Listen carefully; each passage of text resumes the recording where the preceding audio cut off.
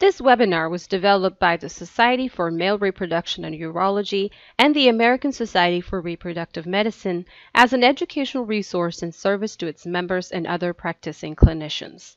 While this webinar reflects the views of the panelists, it is not intended to be the only approved standard of practice or to dictate an exclusive course of treatment. Members should always use their best judgment in determining a course of action and be guided by the needs of the individual patient, available resources, and institutional or clinical practice limitations. This webinar was reviewed and approved by the ASRM and SMRU management. Welcome to a webinar on male reproductive health, science, and laboratory issues during the COVID-19 era, developed jointly by ASRM and SMRU.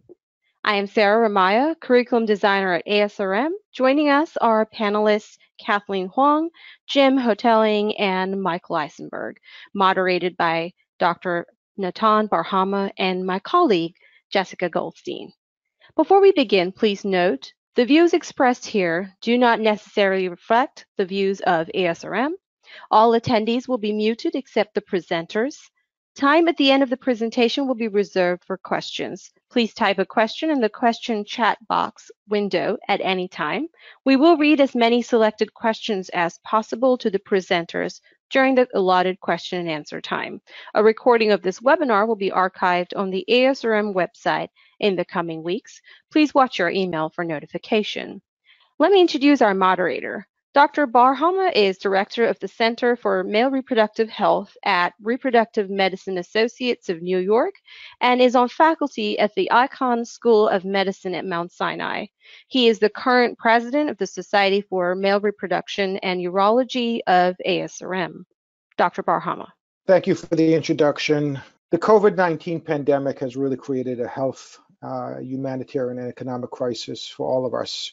And I want to just begin by acknowledging that as president of SMRU and being able to see the ASRM leadership uh, respond with such focus and commitment, um, sincerity, and, and, and um, effort to address how COVID uh, affects fertility and reproductive medicine and practice has been something that um, it was a is a true privilege. And my gratitude for ASRM to for their commitment to education, and this webinar is uh, an example of that, uh, including the staff that are working behind the scenes, Jessica and Sarah. Uh, this webinar will explore the impact of COVID uh, on the diagnosis and treatment of male reproductive health and help us understand the what is known and what is not known about the physiological effects, how to practice male reproductive medicine in this era, and tools and instruments that we could utilize as patients continue to uh, be uh, socially distancing.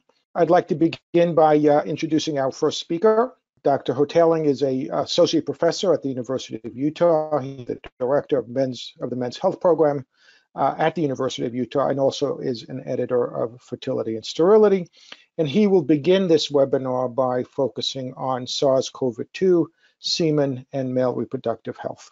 Thanks for giving me the opportunity to talk today about a uh, an important topic that's uh, certainly a significant component in our field of handling the uh, the pandemic and and may depending on the the results of all this stuff going on in terms of whether the disease is sexually transmitted have have more far-reaching implications. So these are my disclosures. None of them are, are directly related to this work. So I'm going to talk about virology 101. You have to know a little bit about this to understand kind of what's going on and how we look at it. And then we'll also talk about the impact on long term male reproductive health. And then finally, we will talk about what studies are needed in the future. And I think it's really important to look at things holistically like this to have an understanding of what's going on. So, SARS CoV 2, I've sort of investigated this a little bit and learned, uh, to be honest, more about virology than I ever thought I would. But the important thing to understand is that the virus, to get into cells, needs two receptors. Um, angiotensin converting enzyme 2 and TMPRSS2 or transmembrane serine protease 2.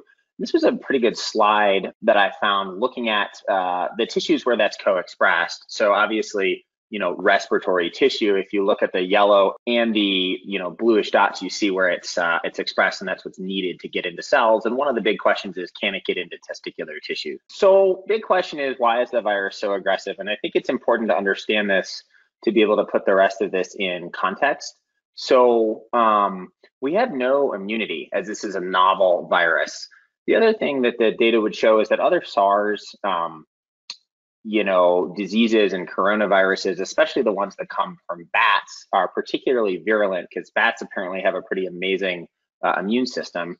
And no one's entirely sure how it got to humans. Uh, it's thought that it may have gone uh, through a pangolin um, that then somehow is transmitted to humans. But it's obviously, you know, the worldwide case prevalence is is pushing six million. It may even be over six million by now, and it's resulted in a tremendous number of um, people getting infected with the disease and and deaths um, tragically. And this is a picture of you know bodies from from New York City, and that's obviously been uh, unfortunately an epicenter of a lot of this. So it's really unprecedented since the 1918 influenza outbreak. Um, the 1918 influenza outbreak uh, can provide some insight into what's going on in terms of uh, SARS-CoV-2 uh, and looking at COVID um, it was actually far worse in terms of the number of people that actually died from it, and it was also worse in the in the aspect that it tended to predominantly affect younger children, um, which was horrific. But if you look at the U.S., I mean, global deaths are are pushing 400,000, and the U.S. has 100 104,000. That's probably underreported, uh, as are some of these other countries. So, what did the 1918 flu do to fertility? If you look at some of the demographic literature, you know, the flu started in 1918 and then, you know, kind of, you know, calmed down a little bit in the summer and then came roaring back with a vengeance in the in the fall and winter. And you actually see the first thing that you notice is that fertility actually went up. Um, and a lot of that is a demographic effect. Um, you know, the birth rate went up, and a lot of that is a demographic effect, just because people had more time and were quarantined, and you know, maybe we're bored, to put it uh, politely. And then you see that it goes down significantly after that, and a lot of that is due to not necessarily the fact uh, of the virus, but the economic implications of that. And I think we will probably see the same thing here. So, impact of other viruses on fertility. This was a nice uh, review. The other viruses can and do impact uh, the male reproductive tract. Zika, obviously, is something that the, the ASRM was out in front of, um, and you know, with all of its effects, and actually, you know, funded research grants looking at this. Ebola actually gets into the semen, HIV, mumps, um, and a lot of these viruses, if you look here, can cause orchitis, epididymitis, and you know, importantly, altered uh, sperm parameters. So the big question is, does SARS-CoV-2 get into the semen?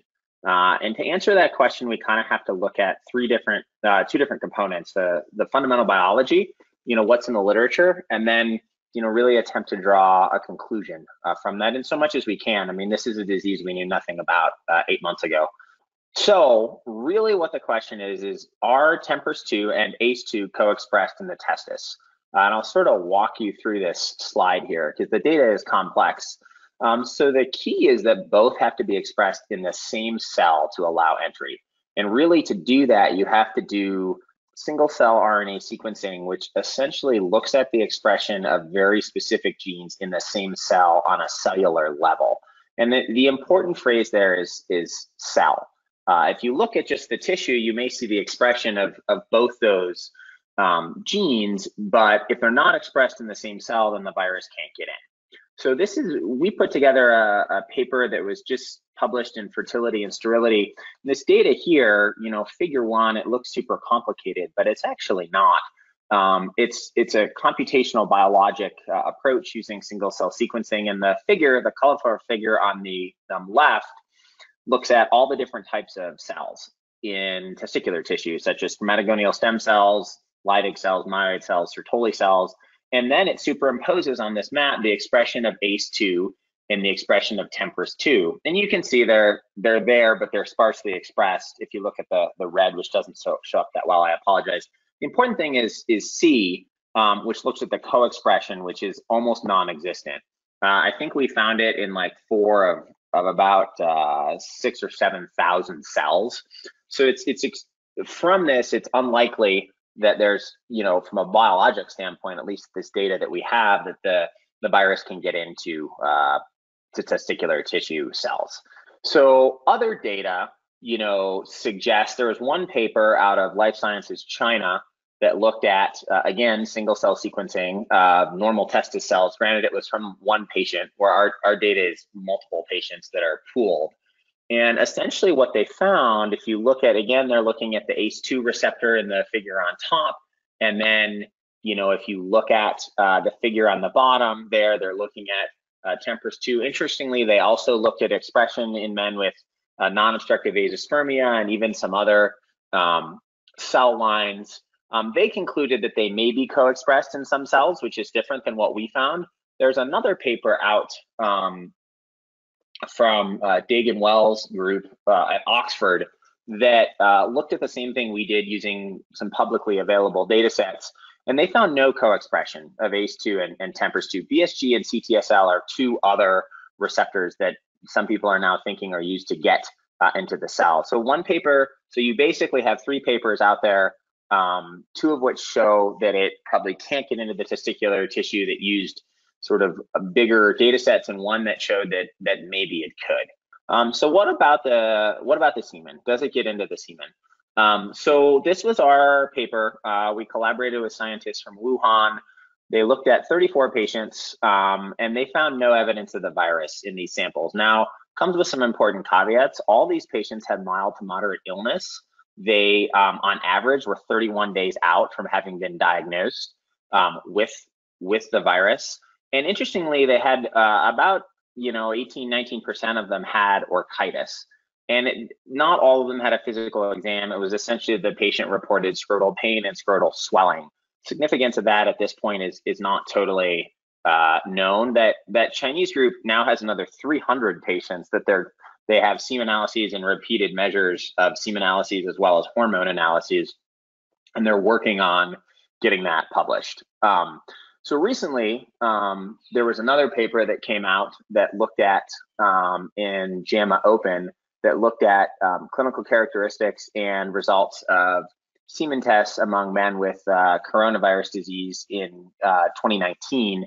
And this found that uh, in 50 patients, they looked at 50 patients. 12 of the patients they couldn't study because they either died, were intubated, or had severe erectile dysfunction. And that kind of gives you your first clue that these were patients who were very sick. Um, 60 of these patients were positive for the virus. Four had the samples done while they were in the hospital, possibly in the ICU. We don't know. So this is a much sicker cohort. And also they're giving the samples, you know, when they're when they're sick. Um, so this is very different than what what we found, and we'll get into some of the details of that in a minute. Um, but the important thing to remember is that they're they're kind of they're two different cohorts of patients. And in our paper, we said that it may be possible that there's a viral threshold beyond which you know people have such severe viremia that it's in every single tissue in the body. So there's another paper that the preprint just went up on fertility and sterility. It'll be coming out uh, shortly. Uh, and this showed again that SARS-CoV-2 is not in the semen. This is a German group, you know, looked at um, 32 patients and found that there's no uh, there were no COVID in the semen. They did find, interestingly, that 25% of patients with you know moderate illness actually had testicular pain, and none of those had SARS-CoV-2 in the semen, which is interesting. And a couple of their patients were actually pretty sick. They did find, which is a is a really important thing. Uh, if you look here in table three, they did find you know that sperm uh, concentration, uh, the number of sperm per ejaculate, did go down significantly you know, as did the total motile uh, count. So what they're seeing here is the same findings that we found, and they're seeing that um, the total motile count went down.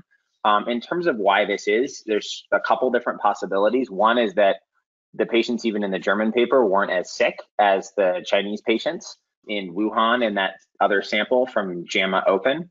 Another possibility is that there was contamination if the sample was taken while a patient was in an ICU, there may be aerosolized viral particles. That paper out of China didn't comment at all on how they did, whether they did PCR or exactly what they did for the virology. Also, the group we work with in China is also doing electron microscopy to look for the virus in, in tissues uh, and testis tissue from uh, cadaveric studies. So we'll see. So the orchitis thing is is kind of an interesting story. So if you look at what happened with SARS, SARS actually did cause orchitis. And this is a paper here from 2006 that looks at control sample versus a patient with high fever and then looking at a couple which you see some atrophy but then looking at uh, the sars patients you see actually um, inflammation uh, and vascular congestion outside the tubules and then you actually see some fibrosis significant fibrosis within the tubules as well too which might be consistent with the fact that this new virus which is kind of sars more aggressive cousin i guess could be the same thing going on the big question in my mind is does this mean that there's long-term damage to the testis the answer is we don't know. Uh, we really need, you know, more data on this. Another great question is, you know, hormone levels. We don't have data on this uh, either. And these are really important questions to answer for our field, but also for sort of society and population health. So the other important question is why do men do worse? This this figure on the left is from a paper that uh, actually has been submitted by by Joe Alukal, uh, who's nice enough to give it to me. And these are actually some outcomes uh, by sex uh, in New York City. As you can see, more men get sick. Men are significantly more likely to get hospitalized, and men are also significantly more likely to die. Then on the right, you see another paper that basically shows that if you look at the time it takes to clear SARS-CoV, um, you know, blue is male and, and red is female, and women clear the virus faster. Um, and this is looking at families. This is a pretty well done study, um, you know, and and you know the question is why is this? And and men have higher systemic ACE2 expression than than women, but the data doesn't totally make sense because that expression actually declines somewhat as men get older, and you know older people tend to get sicker with the virus. So we don't totally know. Another interesting point, which I didn't put a full slide on due to time, is that um, you know TMPRSS2 is also expressed in the prostate. So, you know, that could theoretically be a reservoir for uh, the virus as well. So, what's the impact on long term male reproductive health? Um, I think that's probably the most important thing we need to understand. And the bottom line is it remains unknown.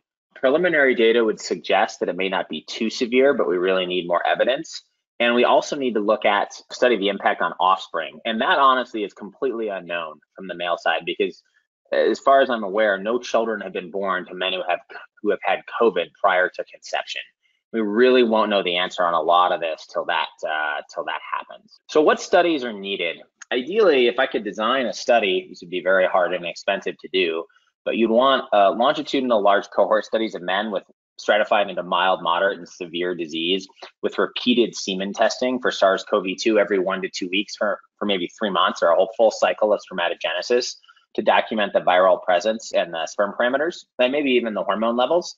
We need hormone data uh, to look at the impact on Leydig and Sertoli cells. And we probably also need to look at some either cadaveric uh, testis tissue or biopsies. Some of the Chinese groups have actually taken biopsies from a good number of their patients, and you know that data will be forthcoming. Uh, we also need to understand why are men more likely to get the disease. I mean, the, the bottom line is we don't understand this virus uh, that well. Additionally, we'll want to look at cohort studies of men who conceived while having COVID 19. And certainly um, that could be something easily done in a prospective fashion through our fertility clinics. And I would, you know, that those would be great projects for uh, a lot of, you know, reproductive endocrinologists and urologists to look at.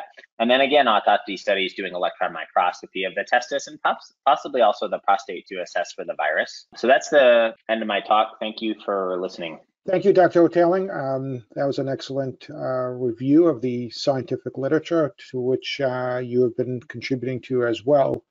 And um, it is my pleasure to now introduce uh, Dr. Kathleen Hwang. Uh, she's an associate professor in the Department of Urology and OBGYN at the University of Pittsburgh. She's the director of male reproductive health. And she will be talking about practicing male reproductive medicine in the era of COVID. Kathleen? Hi, everybody. Thank you to the ASRM and the organizers for the opportunity to give this talk. We're going to switch gears a little bit and go through some practical advice, tips, and just realistic sort of um, challenges that we've faced trying and working through the pandemic and treating our male reproductive patients. We've just had a really great virology review on just the basis of COVID and the impact in the male reproductive tract with the fact that it's such a highly infectious disease, we've seen how impactful it's basically in, impacted the world. And a formal pandemic was declared on March 11th, 2020. But just looking two months later, this was data just pulled off the CDC not a few days ago, just looking at the regional variations on how the different areas in our country have been impacted. And we're going to see similar variations across the globe. And you can see areas that are much different in a spectrum of the number of cases. I've picked out a few select states, and you can see already within differences in counties that even within certain states, there is a mix of the number of cases from very few to a very high number. We have specific states where they're very, very equally distributed across the board, where there's just a lot of number of cases. And then other states where they're, the vast majority of the area of the state is actually um, fortunate enough that there are not that many cases. And really, the take home message is depending upon where you live, where you practice, where your hospital institution is really is going to dictate how you're able to provide care for these patients in different settings. So, as providers, we're always trying to strike a balance and are always thinking about doing no harm.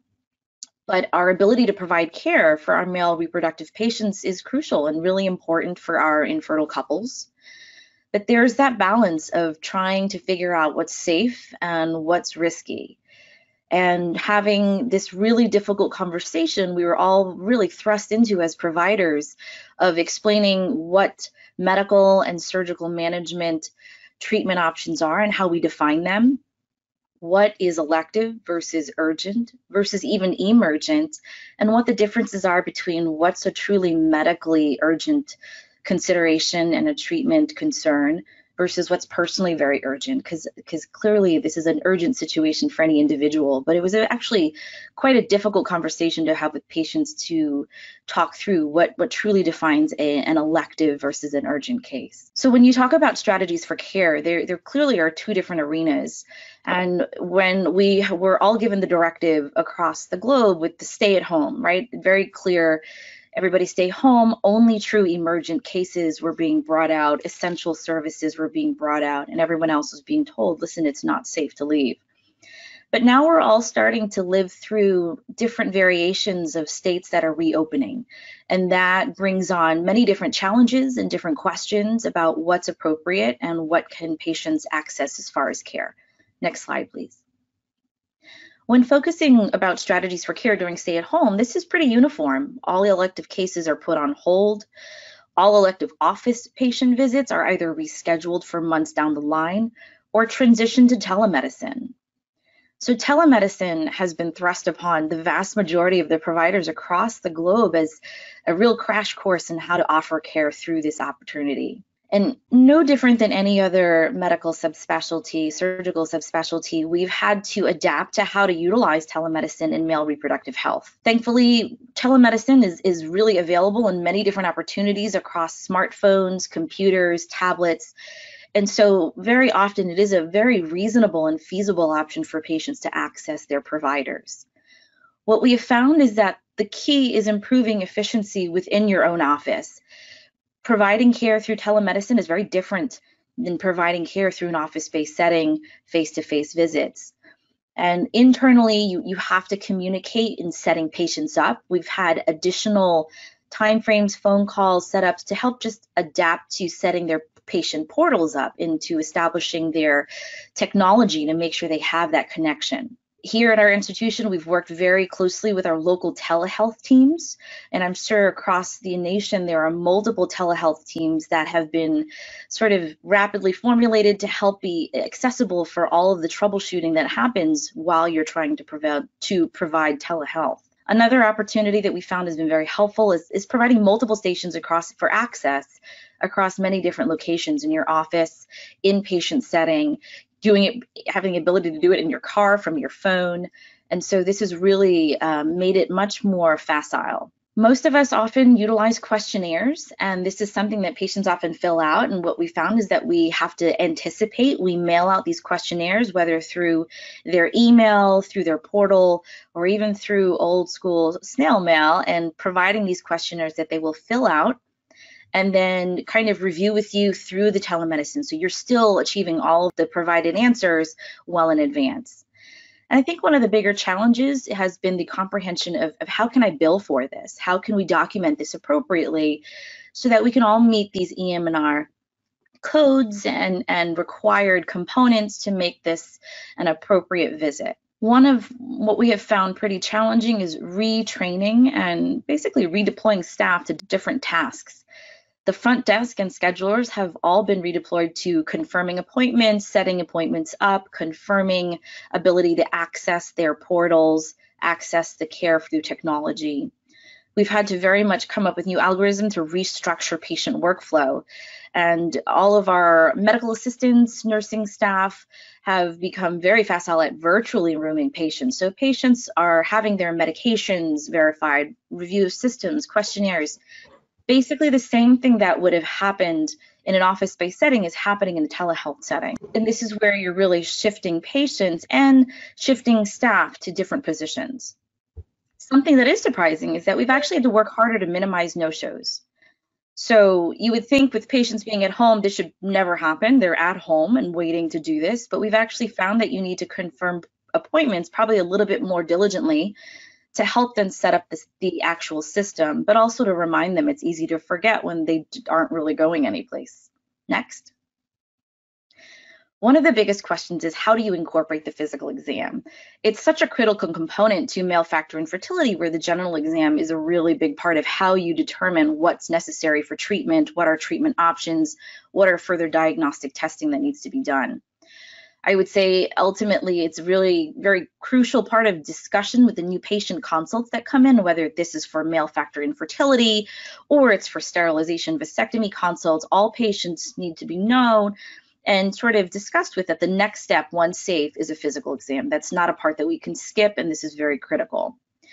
I would say there's even a smaller subset that are comfortable utilizing the video camera. And again, it has to be patient and provider comfort level, and you have to have an appropriate quality of camera. But there have been some settings in patient populations where we've utilized the telemedicine video camera to do a superficial kind of genital exam. And obviously, when there's concern for deeper pathology, whether there's a concern about a mass or acute pain, this is where we're going to utilize scrotal ultrasound for more urgent cases. We've also found it's really helpful to start putting the education to the patient themselves, teaching them about testicular self-exam and about regularly doing this while they're at home to make sure that they're not developing any changes as they know their anatomy better than anybody. Some strategies that we have implemented while reopening and every every city is a little bit different every hospital office setting is a little bit different but these are some strategies that have been effective in also preserving the social distancing the patients are treated alone the partners are not allowed to come actually even into the building. The partner is in, invited to call in during the visit to FaceTime in. They they can be in the car in the waiting in the uh, parking lot calling in to participate in the visit, but the patient is the only one allowed in the office. From a hospital and office building setting, I'm sure we have all had variations of this, but all people, whether patients or employees, are screened. There are single entrances and single exits identified to monitor the flow of people in and out of these buildings. There's a temperature check at every single entrance. A mask is provided to every individual. And stickers with the date and the proof of screening are provided to each person to prevent them from having to have more than a, a single screening in a day. Now, we've also had to be creative about determining how and what's the best way to schedule office appointments. Now that we're bringing patients and bringing select patients back in, we still want to optimize that social distancing. Um, we have worked very hard to minimize the number of patients in the office at the same time. So we've we've gotten to this habit where we've been selectively alternating some patient visits where we have an office visit the next visit would be a telehealth and then another office visit so we can stratify and just minimize the number of, of bodies in, in the same place. Another strategy is rooming the patient immediately where our, our, our patients are checked in and immediately the medical assistant is rooming them into, a, into a, a, an exam room and the remainder of that check-in process happens in there. We've also physically had to change the layout of our waiting room. Our, our chairs have been minimized as far as the number and they are physically six feet apart. And so you are providing every opportunity to remain safe while, while we are still providing care. Surgical considerations, now that we are slowly opening up, one opportunity is, is that our, our system, we are regularly testing patients for, for COVID preoperatively. And one of, the, one of the main concerns from all perspectives is how do we protect everybody involved? And so for the staff, I think the strategic concerns have all centered around the intubation and the extubation process one opportunity to allow providers to make that decision is, is quite frankly, the anesthesia team here, these are the only staff that are with the patient during intubation. Any other staff have the ability to stay in the room, but they have to wear an N95 mask for the duration of the case. And again, this is a time for us to, to try to decide if, if the patient really requires a general anesthetic are they an appropriate candidate for spinal anesthesia? And so this is this is definitely making providers and surgeons think a little bit more more thoughtfully about what they're offering. And considerations for laparoscopy, these are very real as well. We have electrosurgery units and all these type of things where things get aerosolized. And the ORs have been very thoughtful about uh, improving their inline filters for CO2 insufflation, implementing active smoke evacuation where maybe you would not have utilized this um, right away. So there are many different avenues of, of being able to offer care, but having to be a little bit more thoughtful about how you execute. And what when we talk about male factor evaluation, one of the most critical time forms is, is that, that cornerstone of a semen analysis that really jumpstarts all male factor evaluation whether it's for introductory evaluation for male factor like we just talked about, or if it's for follow-up testing after an intervention. Lab services that we're often dealing with are IUI washes, testicular tissue processing for sperm retrievals. And this has been a challenging thing because most labs have been closed for um, these diagnostic and elective testing purposes.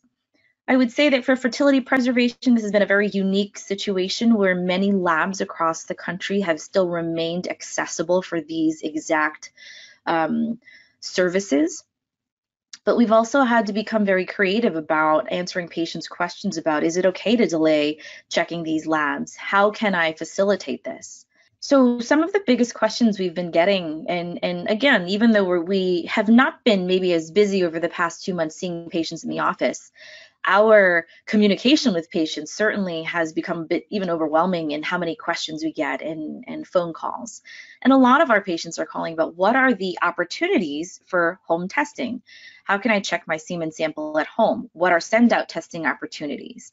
What are fertility preservation options that may not have anything to do with malignancy, but just as an elective choice to preserve their fertility? Are there services that I can, you know, access from home?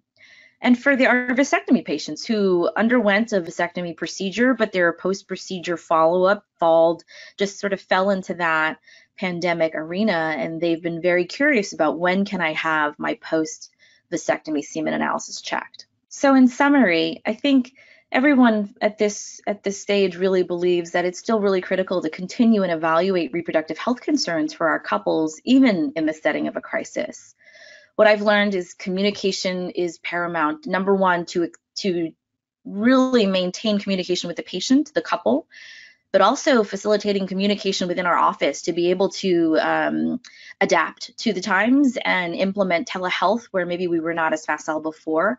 And I really do believe that telehealth options, while we for the most of us we had to take a pretty quick crash course in getting getting um, comfortable with this opportunity. It really is here to stay as it's shown its ability to um, offer care and and access to care for many patients and patients are actually very appreciative and grateful for this opportunity. So thank you. Thank you kathleen for an excellent presentation. Uh, it is my pleasure to introduce uh, our last speaker, uh, Dr. Michael Eisenberg, he is an associate professor of urology and obstetrics and gynecology. He's the director of men's health and male reproductive medicine and surgery at Stanford University School of Medicine. Uh, he will be talking about home sperm testing and cryopreservation during the COVID era. Well, thank you very much. Uh, um, and I also want to thank um, not just the organizers, but really the, the entire ASRM for uh, the leadership during these difficult times. You know, my goal is to look at some of the home options, uh, home testing, home sperm cryopreservation options uh, for male factor infertility. And so Are learning objectives at the conclusion to understand the current offerings in home sperm testing. We'll look at some of the strengths and limitations, then understand the offerings in home sperm cryopreservation. So these are my disclosures, um, and some of which actually are relevant. So Sandstone Diagnostics and Dadi both are going to make some of the offerings that we're going to discuss. Uh, the others are not so much relevant for this. So these are some of the home tests that we're going to review. There's a lot that have been uh, developed over the years. these are um, some of the main ones. So we're going to discuss them all in turn. We'll talk about how they work, uh, whether they have FDA approval or not, and then some of the data on their accuracy.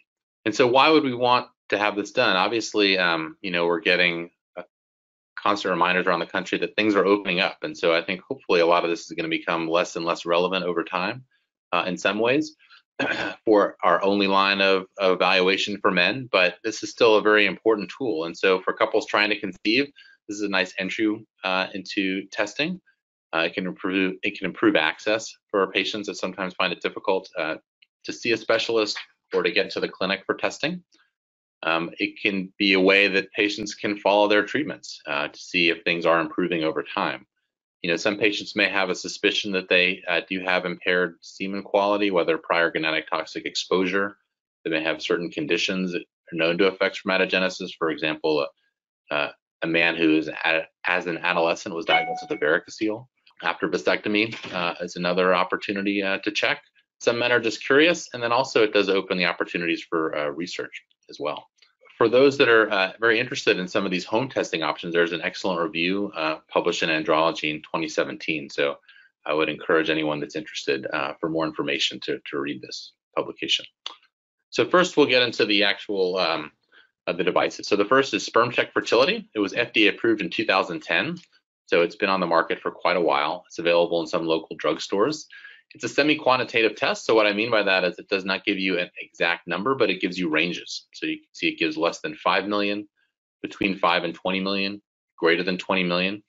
It doesn't measure motility or, or volume, so it doesn't give everything that a conventional semen analysis would provide, but it does give uh, some important information. It works by um, combining a detergent with the sperm that solubilizes sperm acrosomal membranes, releasing a certain protein which then mixed with a buffer, which uh, then undergoes an, a reaction with a monoclonal antibody, uh, which then can be read out um, visually. This is uh, the validation study published in Human Reproduction, uh, where they compared lay users to experienced laboratory technicians, and you can see very good uh, reproducibility, 95%, very good accuracy. Compared to standard semen analysis results, you can see uh, sensitivity specificity over 90% for both. The next product we'll discuss is YoSperm. So this was FDA approved in 2010, received a CE mark in 2017. Uh, unlike the prior one, this actually measures motile sperm concentration. And this again is semi-quantitative. It gives you less than 6 million motile sperm count or greater than 6 million. This has also been validated with a double in a double-blind fashion. So what this does is it actually has a device that hooks up to a smartphone. So you need to make sure that when you order it, you're ordering the, uh, you're, you're kind of lining it up for your correct uh, model. It works by measuring uh, the light fluctuations caused by the sperm movement in the video, and it translates these movements into a motile sperm concentration. And then it can give you a, what's called a Yo score. Uh, this is a validation study that was published in Fertility and Sterility. And what they did is they they looked at um, the semen analysis by a, a CASA machine versus the numbers given by the YoSperm, either using the iPhone 7 or the Galaxy S7. And again, you can see very good accuracy across the different devices. Uh, the next product we'll talk about is by Sandstone Diagnostics called Trak, and this uses a centrifuge. So you can see in the middle here, a centrifuge is spinning. So essentially what's done is the semen analysis is collected uh, into a cup where you can measure the volume. And then after the, the semen liquefies, you take a sample and place it in the middle of the centrifuge, which then spins. Next slide. So you can see the propeller here on the left, and then you can see at the, the bottom in the middle, there's sort of white column. So that's a sperm pellet, sort of like a spermatocrit, you can imagine, and you can see the height. And again, this is a semi-quantitative test. So you can look you have these different um, cut points, greater than 55 million, between 15 and 55 million, and below 15 million. And then on the right, um, uh, this company also got FDA approval for their special collection device, so you can actually again measure the volume, so you can see if men has normal volume or low volume. You can see, um, and again in the validation here, there's good accuracy between uh, the Trak results and sperm concentration as measured by a CASA machine. They do have a motility assay for research purposes, again with good accuracy uh, compared to a CASA machine. And this is data we've been involved with the company uh, with a, a, research grant with Boston University, um, sending these to couples around the country attempting to conceive. And this simple graph just shows that there is a correlation, as we would expect, between a sperm concentration and time to pregnancy, and just validating it for research purposes as well. Moving on, the next test is swim count. So swim count essentially measures um, the number of moving sperm. So a sample is placed into a chamber. Uh, the motile sperm then swim up. Uh, there's a detection window where uh, the motile sperm are actually identified, and then you get a readout looking at the numbers. Again, this gives you a semi-quantitative test, so less than 5 million, between 5 and 20, greater than 20 million. You can see the sensitivity, specificity, accuracy, all around 90%. Uh, and this also received FDA approval uh, in 2019. Another product uh, called the Tenga Ball Lens Microscope. Uh, this allows, uh, again, interface with a smartphone to be able to identify uh, sperm at home. Essentially, this is um, the user collects a sample, uses a, uh, a ball lens microscope that aligns with the specific smartphone a man has, and then you can create video, which then can be uploaded onto a website where you get um, calculations for the concentration and motility. Uh, this uh, was initially described in fertility and sterility. You can see the sensitivity and specificity are also very good, about 90%. And here we see uh, validation across different uh, smartphone interfaces, 6S, 5S, iPhones, and LG phone, and then a good and then again, uh, you can see concentration, motility, and uh, total motile count. Again, uh, good accuracy across the different platforms. Next, we have a product called Fertility Score. This is only this is available uh, on Amazon in the United Kingdom. There is some data suggesting good accuracy. It reports a binary outcome greater than or less than 20 million sperm per milliliter. The idea is that metabolic active sperm will chemically change the structure and color of a dye that's added. And color change from dark blue to pink. Unable to find any um, further data about the product. Another product called ExSeed Home Sperm uh, Testing. It's available online, not FDA approved. Uh, it's smartphone compatible.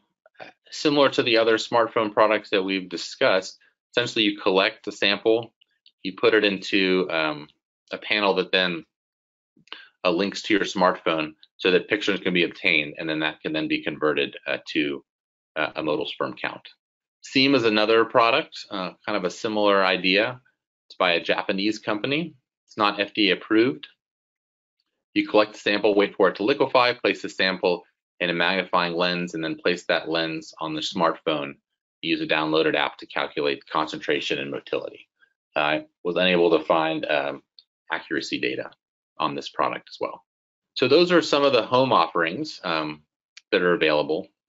So let's talk about sperm cryopreservation and why would men do that? Well, there's certainly many reasons. You know, obviously for fertility preservation around the time of cancer therapy, um, that's one of the most common and widely thought of uh, indications. But there may be other gonadotrophic treatments not for malignancies.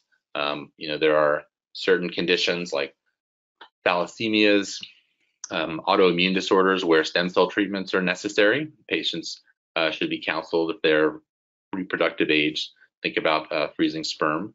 Um, for uh, gender affirming hormone therapy, be another indication. Sometimes it could be occupational risk, you know, whether it be law enforcement, astronauts, um, military, all um, fertility preservation has been described in all of those. And those aren't necessarily things that are going to stop during a pandemic obviously. So want to maintain uh, access uh, for men uh, and women with these conditions. Uh, so during the time of the pandemic, many centers did stay open, specifically for these indications in li some limited capacity. Uh, but it's important to know, you know, for uh, for individuals that don't have access to these, you know, maybe some in uh, some rural settings, they're they're home offerings as well. So again, you know, local sperm banks uh, should certainly be you know queried during all times. You know, these are a list of some. You know, during uh, the pandemic, you know, our center here at Stanford maintained open for this indication. We weren't doing routine semen analysis, but for fertility preservation around cancer therapy, we were offering services. Uh, but in the last few years, there have been really a, a, surge in the number of home offerings for this. And these are some of the ones that are available. Um, I found them through web searches and through my own just knowledge of the, um, uh, the space. These are just listed in alphabetical order. the prices vary a little bit. There's oftentimes um, different promotions that are run, but essentially the idea is that you either call or access through a website or an app, you would fill out what particular package you want to purchase. Kits are sent to your house. You make a deposit and then you send them in. And you know, one thing that sort of allowed this is there are now um, uh, cryopreservation solutions that allow transport across the country. Uh, these companies also have, you know, proprietary uh, shipping packages that allow them to maintain at a certain temperature, which obviously they potentially could vary, you know, given how transportation works through planes and, you know, endless time on trucks.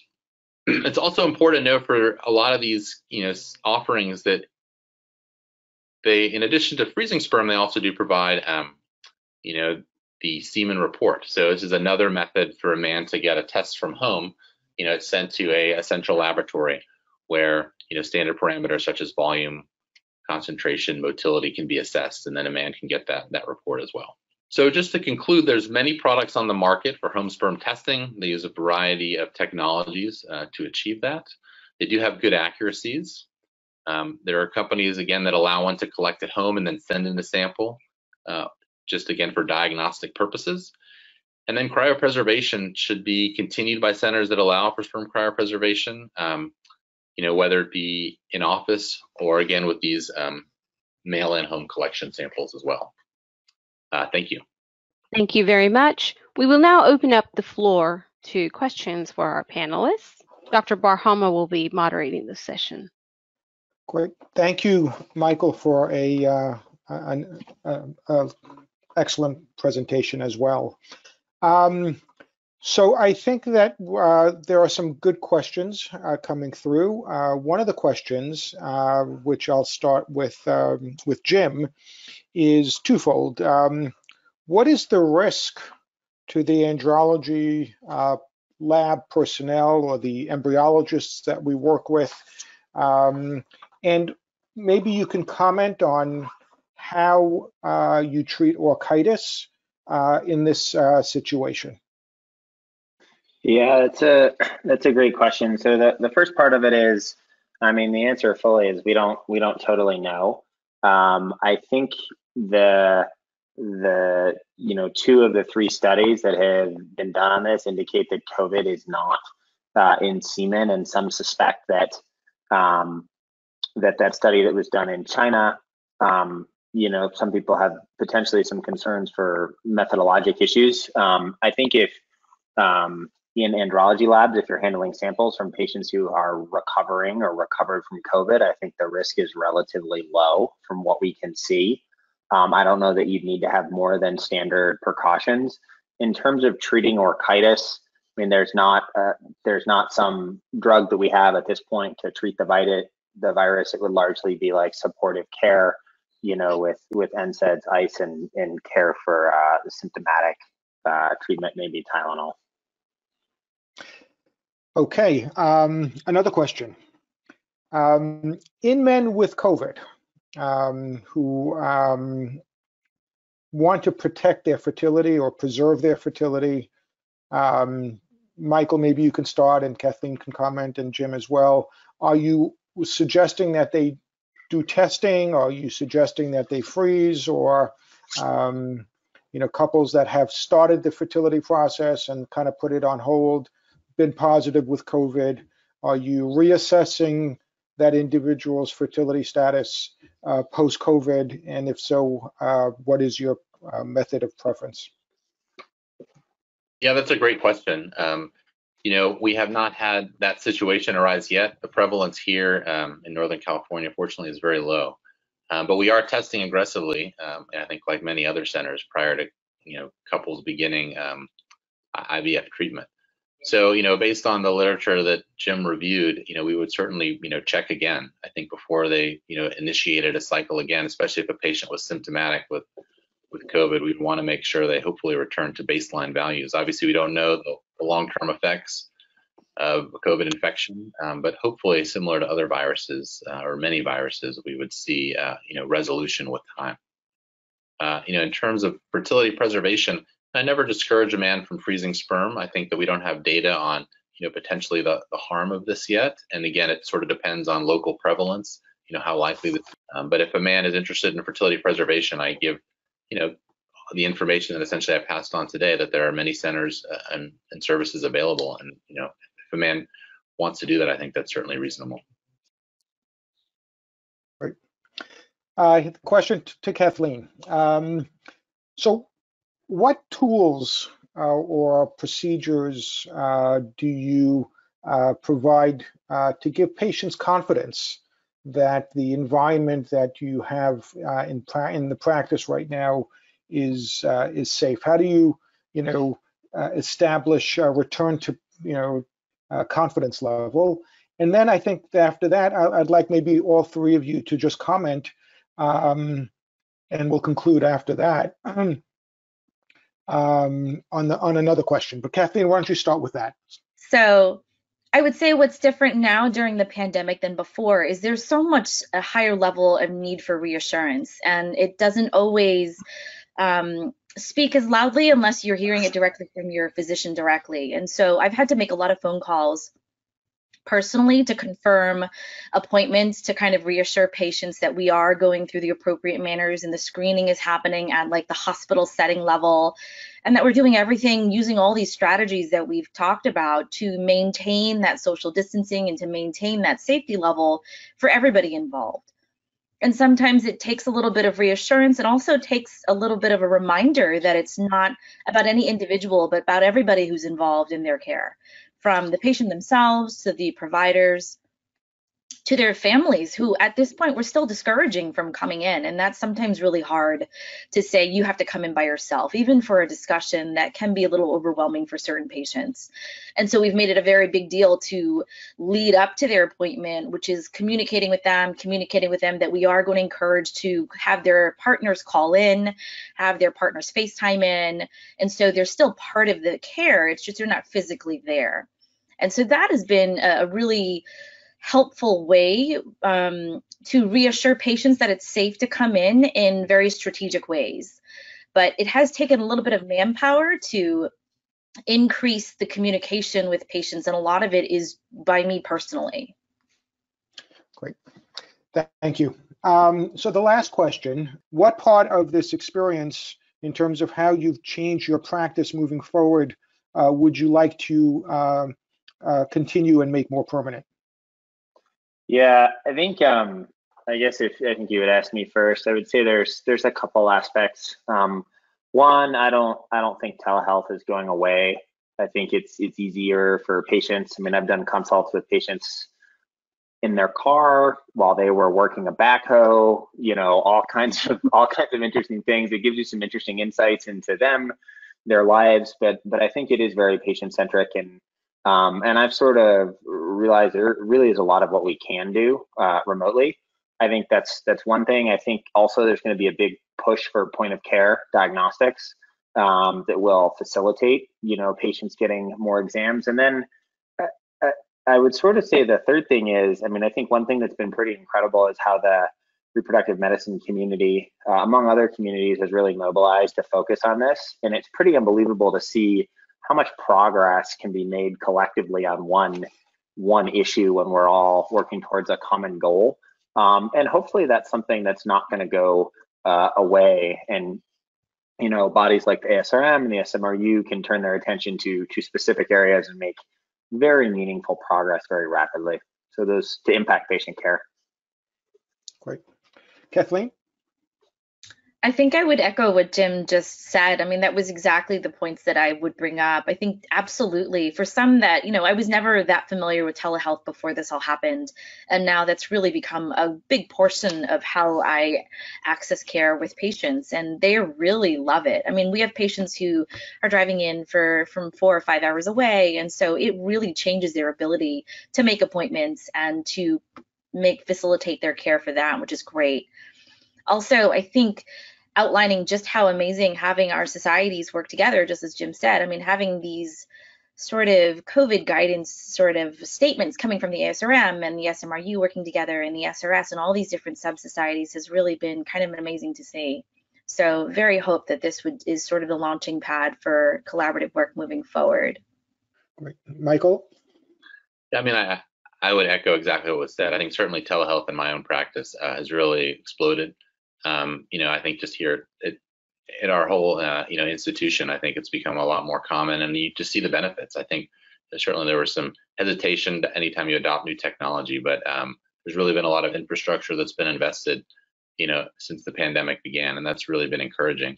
And then I think the other thing that uh, this has really taught me, in addition to um, you know the points about collaboration, is just how really the scientific community has really embraced this. You know, I've been able to see how quickly some of these publications have been, you know, been put out into the community so other people can benefit from them. You know, some of these papers have been turned around in, you know, about 48 hours, which is really amazing when you think about the normal process uh, from submission to eventual publication.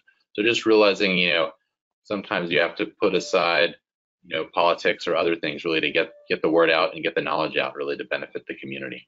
Well, thank you all for participating. I really want to, um, you know, um, the future is is uncertain, but with leadership like Kathleen and, and Michael and, and Jim, the collaboration and and and the ability to get things done in a collaborative fashion is really something that I think we'll all take with us moving into the future.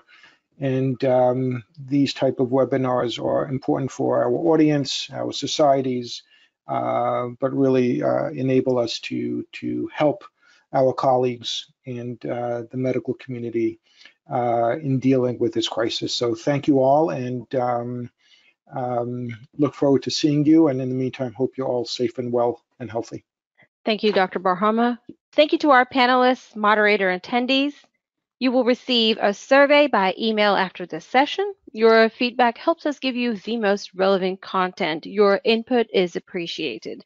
This session was recorded and will be available on our website in the near future. Please join us for our next webinar scheduled for Thursday, June the 4th on donor anonymity, past promises, evolving technologies, and current realities. For any further questions or comments, please don't hesitate to contact us at webinars at asrm.org. This concludes the webinar. Thank you.